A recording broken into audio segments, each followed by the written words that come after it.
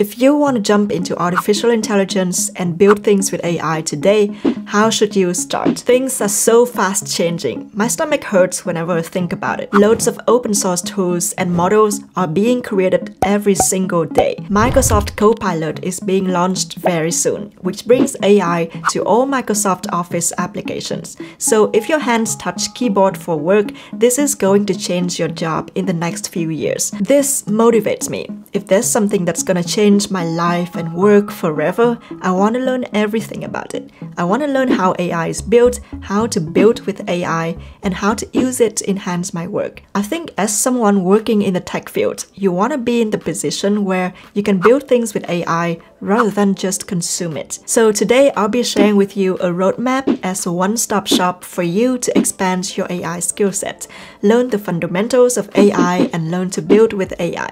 Even if you don't have any background in machine learning, mathematics, statistics, or programming, I hope you walk away with some useful ideas of where to start. Let's get started. So why should we bother learning AI? This whole AI, machine learning, and deep learning thing has been around since the 1950s. The AI we often talk about today is generative AI, which is a subset of machine learning and deep learning. Generative AI can now write code, generate stunning images writing music, diagnosing rare conditions, creating outline for presentations, reading images, and much, much more. Companies are looking into implementing AI solutions to solve their specific problems. This is a gold mine because everything is still so new. So if you have the knowledge and know how to build things with AI, you can create huge impact. As with anything in its early days, AI models still have many issues that need to be solved. They are not yet reliable or stable, they potentially possess biases, among other things. That's why we need more people who have the in-depth understanding and can get to the bottom of the technologies to solve various problems. Even if you don't build things yourself,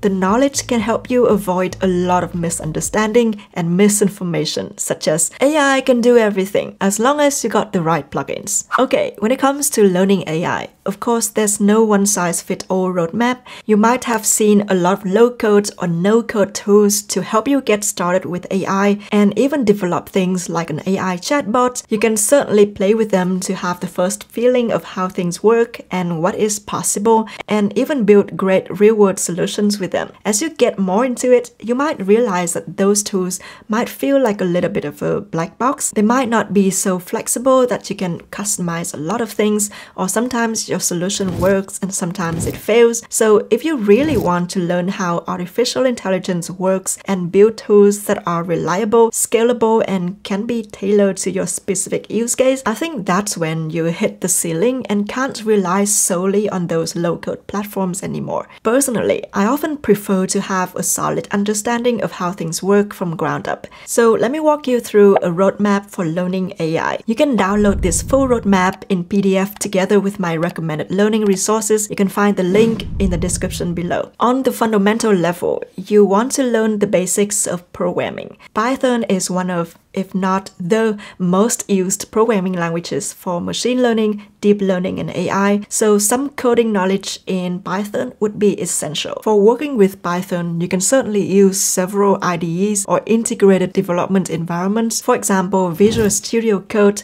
PyCharm, or Jupyter Notebook. Jupyter Notebook is my favorite environment to start learning Python. Here's a simple setup of a Python project in Jupyter Notebook, and here's the same project in Visual Studio Studio Code. You can use any of these tools and they are completely free. If you've never coded in Python before, make sure to at least get yourself familiar with the four basics of Python. Firstly, data types and the operations that you can do on them, data structures and how to work with them, conditionals, loops and functions, and lastly, object-oriented programming and using external libraries. When learning Python, the most essential libraries to learn are NumPy for computing and working with numerical data, pandas for wrangling tabular data or data frames. When you're already familiar with those libraries, you can start learning some other libraries that you can use for your AI project. For example, Matplotlib is a popular library for data visualization, spaCy for basic text processing functionalities, and so on. For working with large language models, LangChain is a very useful library to learn to develop multiple applications on top of LLMs. What's nice with Python is that there are so many open source libraries that you can use to develop almost anything you want. The next thing I'd recommend you learning is Git version control. If you're not yet familiar with it, Git is an open source software for tracking changes in your project, basically managing versions of your project. Version control is essential when you're collaborating with other people in a large or complex project. There are actually just a few concepts you need to understand to start using Git, as shown in this diagram. A funny thing is that many people actually confuse Git with GitHub. GitHub is a hosting platform for Git repositories so that you can share your project with other people across the internet. Meanwhile, Git is the software itself. Through GitHub, you can directly see and contribute to other people's projects. So how can you start using Git? The easiest way is to install GitHub Desktop. It's a user interface tool to help you work with Git. Or if you prefer to use the terminal, you can also interact with Git through the terminal commands. I always keep a small cheat sheet here to remind me of some common Git commands, which I find super convenient and helpful. Another essential thing to learn in your AI journey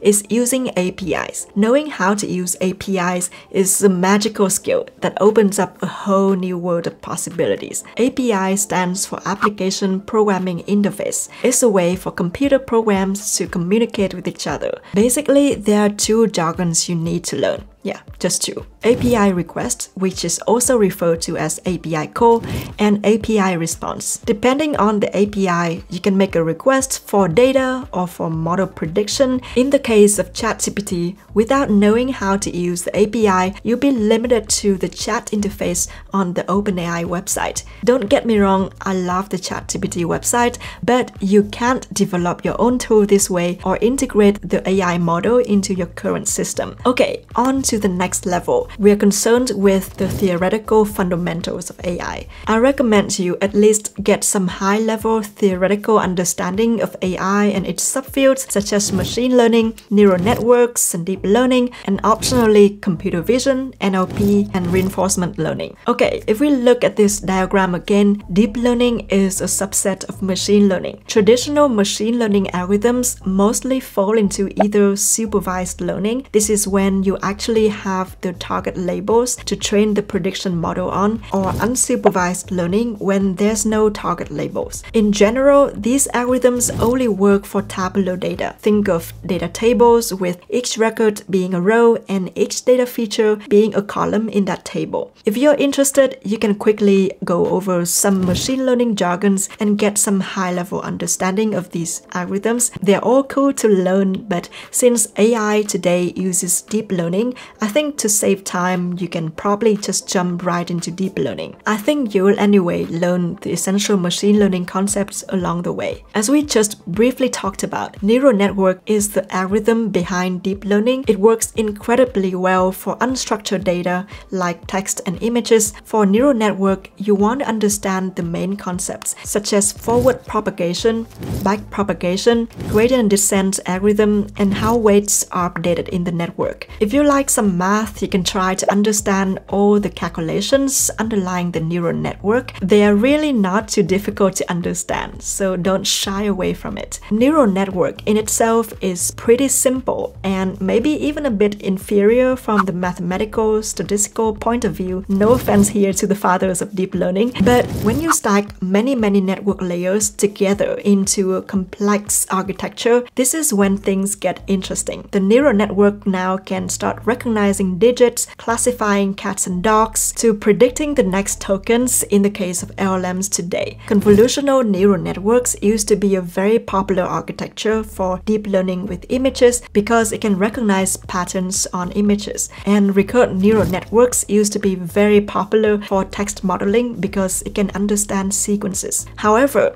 these architectures have become pretty obsolete since the invention of transformers architecture in 2017. This is the architecture behind the foundation language models nowadays. Transformers outperform pretty much all the earlier architectures, so you might want to jump into it right away and reverse engineer the knowledge if you see any gap. As you work with the AI models, you also want to get yourself a high level understanding of how the foundation models underlying them are trained. In general, they're trained through an unsupervised process. It's up to you to learn more about the nitty gritty details of training your language models. When working with language models, you might hear the common term text embeddings. This is a very useful concept to understand. Text embedding converts text into vectors of numbers. Nowadays, we often forget that computers cannot actually understand human languages. Computers can only understand numbers, so this conversion step is really necessary. There have been many embedding models created with ever smarter ways to capture meanings into those vectors. No matter what you're learning or where you are on this journey, you can build relevant projects to get your hands dirty and experiment with things. This will help you connect the dots and challenge your own understanding. For example, if you're learning Python, you can build your first neural network in Python using Keras or TensorFlow library. It's only a few lines of code. If it's too high level, you can try to write a neural network and implement gradient descent from scratch with NumPy. When you're learning the theories, a real-world project would be to pick one specific concept you find interesting and write a blog post or make a video on it. This will help you understand the concept deeper and help other people too. If you're ready to tackle more complex AI projects, you can build a real-world application. For example, you can create a document retrieval app, basically to create a chat with PDF kind of application where people can upload a document and ask specific questions based on the document. Or you can create your own chatbot. I also want to mention that no matter what project you do,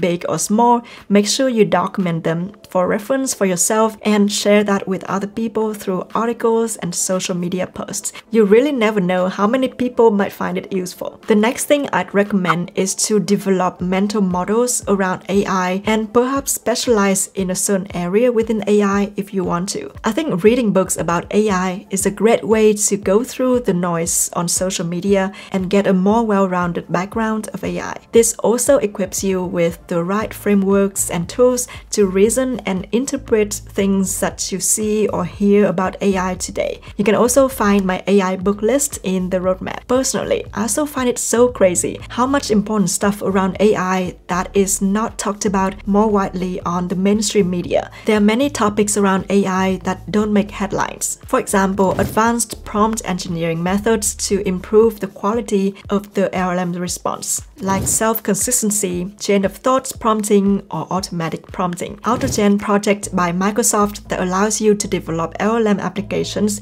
using multiple agents that can converse with each other to solve tasks. Advanced document QA with multimodal documents that can work well with complex tables, images, and other data structures. AI security and hacking. The other day I watched a YouTube video of a researcher who uncovers some serious security issues with machine learning models. This is a very overlooked area until now, so if you know computer security very well, please do humanity a favor and look into this. We also have AI safety research that is the area to find ways to align AI's goals with humans' goals. Because if we fail to do this, we are literally screwed. And finally, AI regulations if you're interested in laws. In Europe, the EU AI Act is one of the big things that are coming to regulate the use of AI. The US government also recently passed the executive order on the safe, secure, and trustworthy development and use of artificial intelligence